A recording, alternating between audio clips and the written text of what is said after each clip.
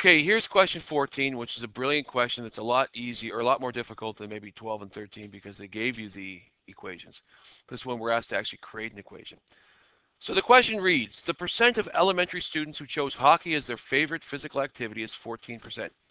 This percent of students is 2% more than four times that as many who chose skiing.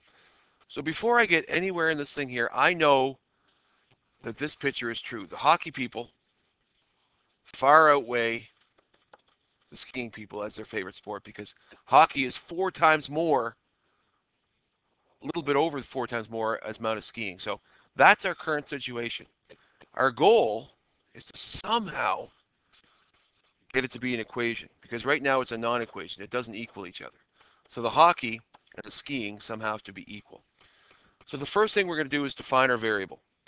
So that's our situation. So the first part actually helps us out and it says what S is. So the first thing in all of our story problems is going to be S. Define our variable. It's the number of students, or the percent of students. It's actually not the number of students. It's the percent of students that chose skiing. Okay. Now, hockey, we already know. How many actually chose hockey? What percent? 14%. Now, remember, in our equation, we're going to somehow manipulate this S variable to equal the hockey. But since we already know the hockey, we can change that to be 14%. Okay, we're going to change that. Now, remember, I want a lot more people like hockey than skiing. So what if I double skiing? Does that make it balanced? No. If I triple it, does that make it balanced? No, because if you read it here, this percentage right here is, according to the instructions, 2% more than four times the percent who chose skiing. I think. If it comes out my highlighter, there we go. 2% more than four times the percent who chose skiing. How do I represent four times the amount that chose skiing? What am I going to do to my S variable? Multiply it by four. And that's a coefficients job, right, to multiply. So we're going to put 4S. Now, this is still 2% more, isn't it? Do you agree? This is still 2% more. So how do I make that balanced? If this is 2% more than four times the number of people who go skiing, I have to add two more on this side, right? This is two. So once I write that, now they're balanced because now the 14% that chose hockey, four times the number that chose skiing, this is still 2% more.